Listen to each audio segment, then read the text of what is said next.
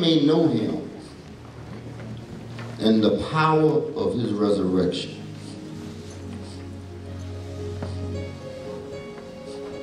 And the fellowship of his suffering. Being conformable unto his death. If by any means I might obtain unto the resurrection of the dead. Not as though I have already obtained either, already perfect, but I follow after. If that I may apprehend, that for which also I am apprehended of Christ Jesus. 13. Brother, I count not myself to have apprehended, but this is one thing I do, forgetting those things which are behind and reaching forward until those things which are before. Watch 14, watch 14. I press toward the mark for the prize of the high calling of God in Christ Jesus. Praise the name of God.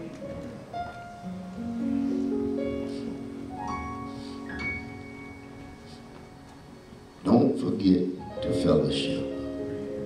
Don't forget to fellowship. Don't forget to fellowship. You may be seated. Fellowshipping is very important. And there's a reason we fellowship. Um, last week, I thought that we had a real good time in church and out of church. We went across the street and we fellowship with the basketball league and very nice. Everything was real nice. And here at Grant Hill, we do a, a lot of fellowshipping. And people know that for the ones that are, that, that are a part of it. Uh, you wouldn't know that we do a lot of fellowshipping if you're not here or if you're not connected. But if you're connected, then you know that there's always something going on. Not just in the church, but outside of these four walls. Because it's very crucial that um, we not only just worship in the four walls, but then we fellowship after we leave. Because that is where the gospel is going to be spread. You know, sometimes we take for granted that the people that are in the church automatically know the gospel, and it's not always true. Some people are just being introduced to the gospel. Some people are just being introduced to God, to Christ. You know? And then there are others that are seasoned in the Lord. But either way, fellowship is important. Paul wrote that he might know God in the power of his resurrection. But listen what he says. And in the fellowship of his suffering. Ooh. Ooh. We don't mind knowing him in the power of his resurrection. Uh, but he said, in the fellowship of his suffering. So, so it doesn't, it doesn't, it doesn't, uh, uh, most people want to, we, we, we'll skip that part. But it is a good thing that we realize that knowing him in the fellowship of his suffering also means that we know that he actually suffered for us. And everything that he suffered for us, that when it comes to our life, and we might have to go through some of those things, we not only know that Christ has already suffered for us, but he has already overcame. Y'all didn't hear me. He has already overcame whatever we're going through. So then our trust must be in him. Yeah. But but but Jesus has already suffered. But it said in the fellowship of suffering. Praise the name of God. And, and, and we come honestly to church not just to worship, but we ought to come to what? Fellowship. See, this is where it gets difficult at because we think we have to like everybody to fellowship. We think we have to agree with everybody to fellowship. But to learn how to fellowship in Jesus by the suffering of him, then you become the embodiment of Jesus. Which means Jesus learned how to look over people's faults and see their needs. See, what we do, we stop sometime at people's faults. And the only reason we stop at people's faults is because we don't look in the mirror. And sometimes we think they are the ones, and sometimes it is us. Because if you're going to have the fellowship of suffering with Christ, then I am telling you, Christ looked over people faults. I mean, watch what he also did. He allowed people because he had to humble himself. I need you to understand that everybody that's humble is not weak. Don't get it twisted. Just because it seems like I don't say anything, I'm, I, I'm just not ignorant enough to get caught up in your ignorant argument.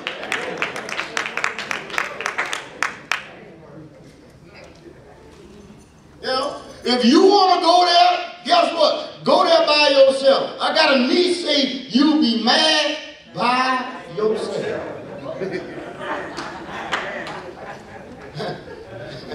I mean, because this is a part of fellowship. Fellowshipping. Now, now, um, in the Bible, it talks about being common and having something in common.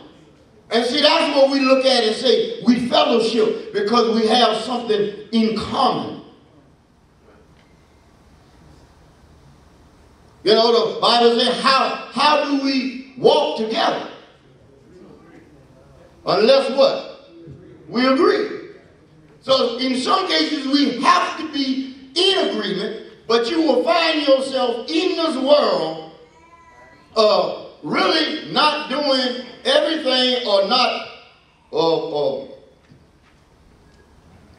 tapping into your potential uh, just because you won't do something because you don't agree.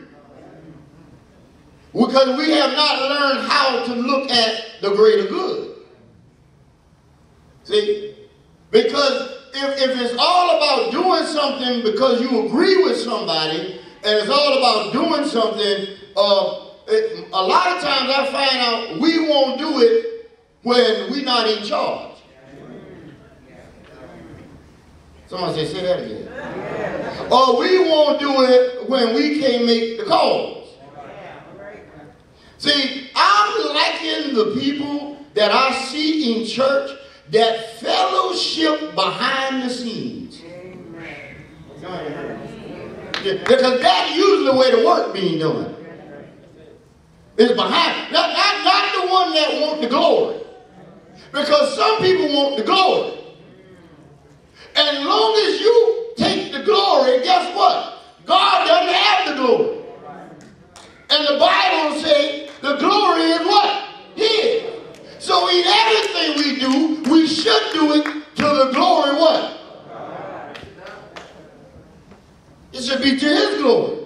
To God be the glory. Praise the name of God. If, if, if you come to church and say you didn't have a good time, guess why? Because you didn't bring a good time.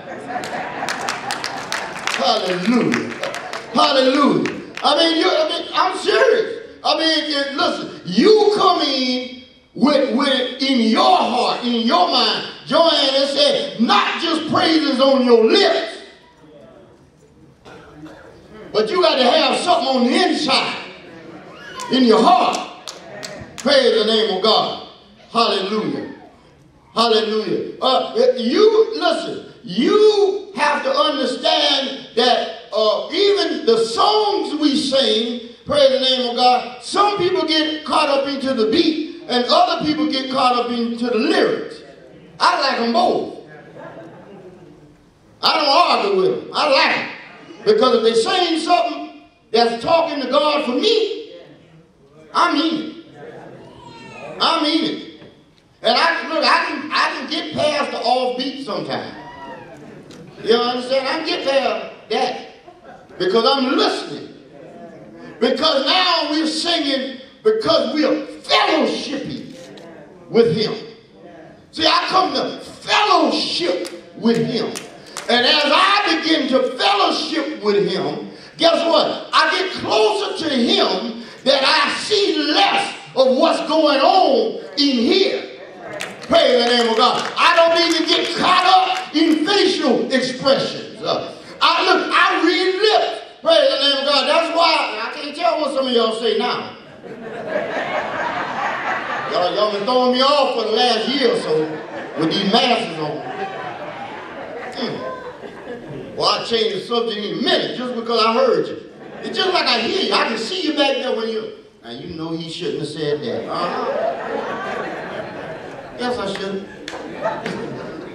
Y'all hiding now. Take your mask down. Let's let's talk. Let's fellowship. Let's fellowship. Praise the name of God. He said, but in the power of his resurrection and in the fellowship of his suffering. In other words, what he said now, now what I need you to understand that as we continue to come and fellowship, there's a reason that we are fellowshipping. And the reason we are fellowshipping, and it should be that iron sharpens iron. The reason that we fellowship is that we build one another. We don't come together to fellowship to talk about each other. We don't come to, look, if you're going to talk, then help. If you're not going to help, don't talk. If you come, then you come to build someone. You come to encourage someone. You come that they might learn how to fellowship with God. No. Not like you fellowship with God, because everybody don't fellowship with God the same way. Some people want to clap their hands. Some people want to pat their feet. Some people want to sing. Some people want to pray. Some people want to wave their hands. Some people want to sit down with their arms crossed. But that's all right if that's how they fellowship. See? Because God wants us to come in, praise the name of God, and allow Him to be the main reason. Not just for Christmas. Because we'll say Jesus is the reason for the season. He, God is the reason all the time. God is the reason that we got up this morning. That's all the time. That's just not on the 25th. That's just Tuesday that's coming. If we get up. Praise the name of God. And we should start our fellowship with him on a day-to-day basis. Not just here. On a day-to-day basis. Have fellowship. Praise the name of God. Talk to him. Listen to them. Speak to them. Let them speak to you. Praise the name of God. Hallelujah. And, and, and Paul started with the power of his resurrection, but he said, ending the fellowship of his suffering, because he realized that what he was looking for, and the same thing that we're looking for, is that we all need a Savior. Y'all, we need a Savior now. Because guess what? If we could save ourselves, we would have already done it. Somebody say, well, I am. You ain't did it yourself. You know? But the Bible says we are like filthy what? Rags. You understand? What, what are the wages of sin? Death. Right? That's the payment for sin. If anybody say they don't sin, they sinning in. Because it's a lie. Might not get caught. There's plenty of people in jail that's innocent. And there's, there's plenty of people out of jail that's guilty. I mean, I won't bother me, but that's the truth. Hallelujah. Play. You know? And, and, and, and it's amazing because it's how we fellowship with people, even based on something like that. If you look at somebody and you see where they are, praise the name, you don't want to fellowship with them. You know, and I, I'm here to tell you, in the world today, it is becoming a little bit more challenging. I realize that even in doing ministry, that, and listen, let's not overlook this thing. We have some mental issues that on an all-time high right now. Going out doing ministry work is not the same as my grandmama and I mean, people are dealing with things. And, and I have to, I was talking to a couple, I mean, even going to try to help someone, you really have to realize where they are. You understand? But God still wants us to try our best to fellowship fellowship, to help one another, to build one another. Praise the name of God. And once we do that, hallelujah. Now, Paul said, listen, I need you to understand that I realize that our fellowship in it, and we coming together, um, he talking to the different churches, and they had problems in Corinth, they had problems in Ephesus, they had problems with the Galatians, all the letters that he wrote, there was some kind of problems going on in the church. And even some people still had problems with Paul. Because no matter that we call him Paul and we call him apostle and we call him the one that was uh, circumcised on the eighth day, born of the tribe of Benjamin. We, we say all of that and we know who he is, but they still looked at him as Saul, some of them. Praise the name of God. But but but now Paul is saying, in my fellowship with Christ. Uh, praise the name. In my fellowship with him, I, I am I am learning that uh, I have not obtained everything that I'm looking for in God. In other words, I, I know that I have some issues. Uh, and, and, I know that even the things that I'm trying to do better, uh, hallelujah, uh, somebody's going to always bring up my past. Uh, or somebody's going to always put in my face when you wasn't all that.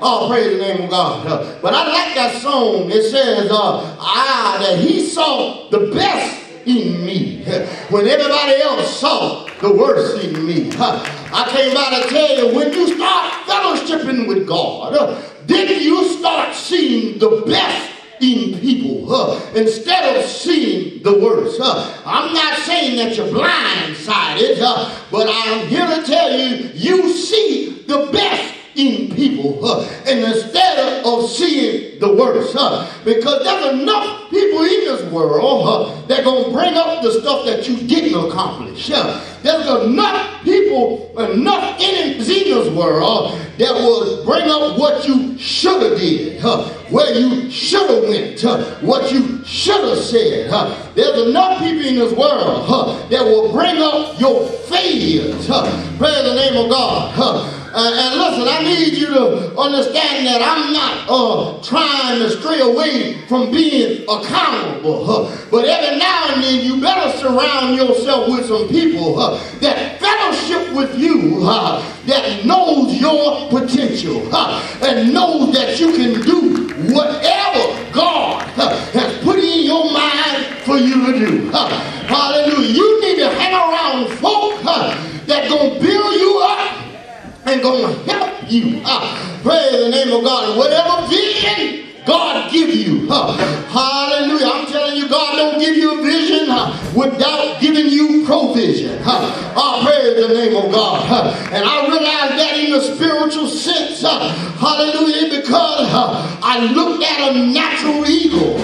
And an eagle can fly higher than any bird. And an eagle can see further. That's why they called Isaiah the eagle-eyed prophet. Uh, oh, praise the name of God. Uh, but when that bird gets up there, uh, that eagle looks down. Hallelujah. Something man can't see. That eagle's able to see. Hallelujah. When he looks down, he see a little rabbit over in the brush. And every now and then the eagle swoops down and come back up. Hallelujah. The rabbit move a little bit. Hallelujah. But now within its vision. When it swoops down and picks up the rabbit, the rabbit just became provision. And I came by to tell you, when God gives us visions, you need to have somebody around you that can be provision. I praise the name of God. He don't give you vision without provision. I praise the name of God. That's why the Bible though the vision tarry, wait on it. Hallelujah. For it shall come to pass. It says, they that wait on the Lord shall renew their strength. What you gonna mount up as? You gonna mount up as wings of an eagle. I'll pray the name of God. Because we are fellowshipping with God. Watch what Paul says. Paul says, I know you're going to bring up all of this. And I'm not telling y'all just because I wrote these letters and just because God has anointed me that I've got it all together. I have not obtained everything, but I came by to tell ain't no need for you to be bringing up everything where I was, everything I did all of my failures because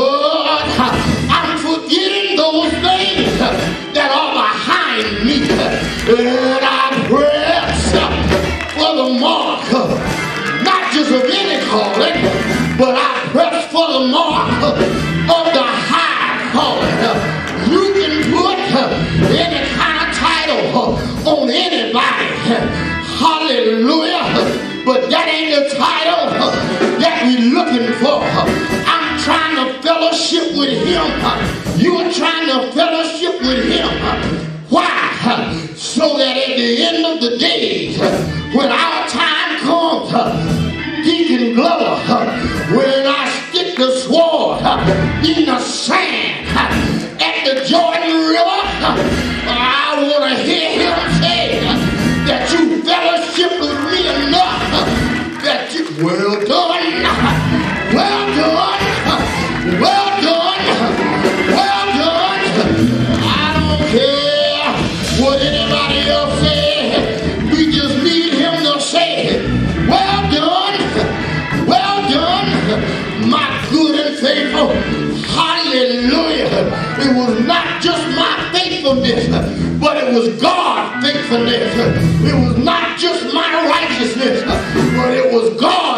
righteousness. I pray in the name of God. Fellowship till you can't fellowship no more. Wake up in the morning, fellowship. Noonday hour, fellowship. Late at night, fellowship.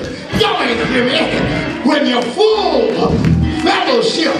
When you're hungry, fellowship. When you're depressed, fellowship. When you're happy, fellowship. When you don't know how it's going to turn out. Fellowship when you don't feel like fellowshipping.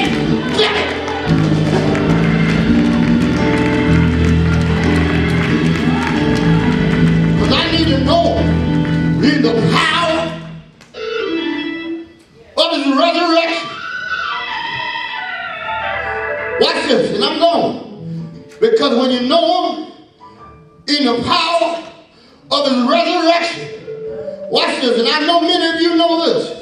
Because when you look back over your life and you see things that should have kept you down, you see things that came in front of you and became your obstacle. You see the roadblocks that the enemy has set to stop you, stop your career, stop your business, stop your body, stop your children, stop your family. You've seen all of this and it came after you. Hallelujah. And you've seen other people that had the same issues and they've been buried with it. They got buried with it. And the very thing that should have buried you, watch what happened. Because you know